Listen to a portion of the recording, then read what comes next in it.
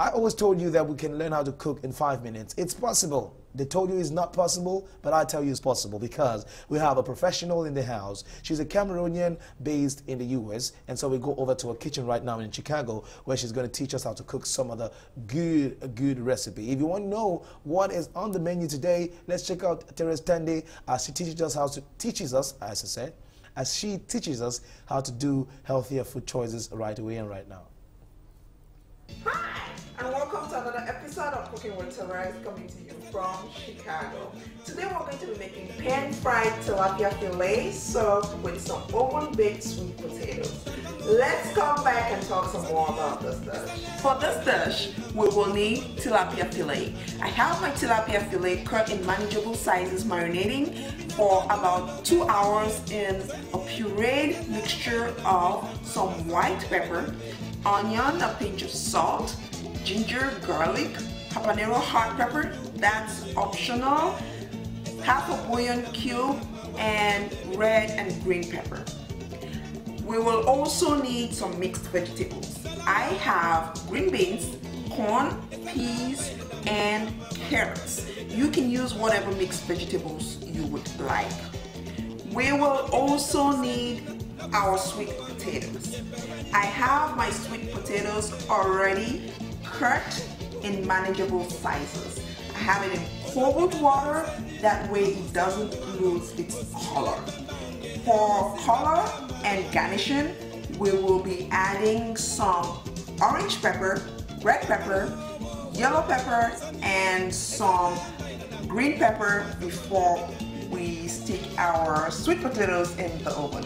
Let's come back and talk about how we're going to go about the process. We'll start off with our sweet potatoes.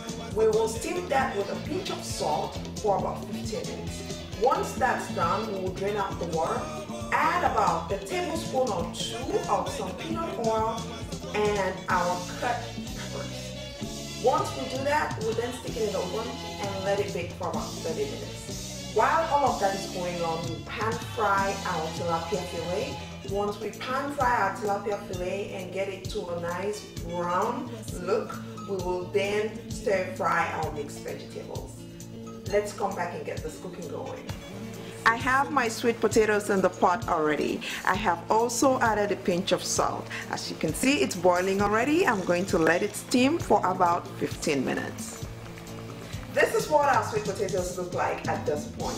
I steamed them for about 10 to 15 minutes and drained out the water. I then added about 2 tablespoons of some peanut oil and my cracked peppers.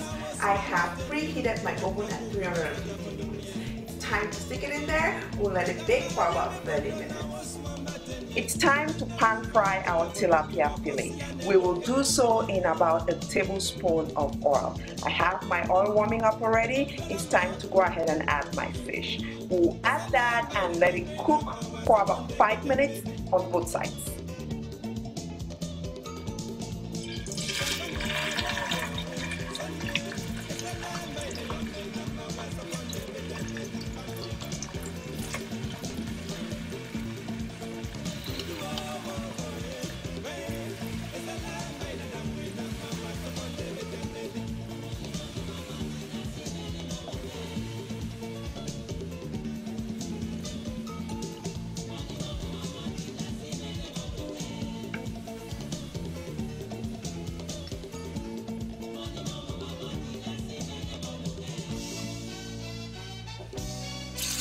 We now have all our tilapia fillet in the pan. We'll let that cook for about five minutes and then flip side. This is what our fish looks like at this point. I have flip sides. I will let the other side cook for about five minutes and then take it out. It's now time to cook our mixed vegetables. As you can see, I've taken out my tilapia fillet. In the same pot, add your mixed vegetables.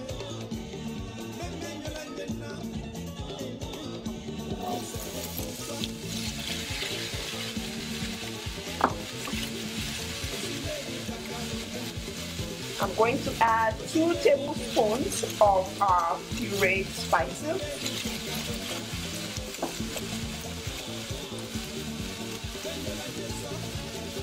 A pinch of salt and just about a quarter of some bouillon cube. I will let that simmer for about three to five minutes. My vegetables have been cooking for about three minutes and as you can see I have brought back my tilapia fillet. I will let both of them just simmer there for another two minutes and it will be time to serve. I just checked my sweet potatoes in the oven as well and they are baked. Let's come back and serve. Well folks, we are all done. Today we made pan-fried tilapia fillet with some vegetables served with oven-baked sweet potatoes and some peppers. Let's take a closer look at our dish. This is what it means to color your plate. I cannot wait to dig in. Doesn't that look delicious? Remember fish and vegetables are very good for you.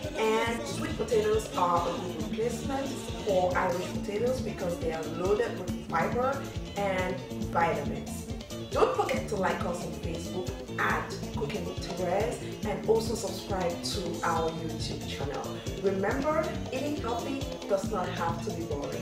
Bye-bye and see you next time.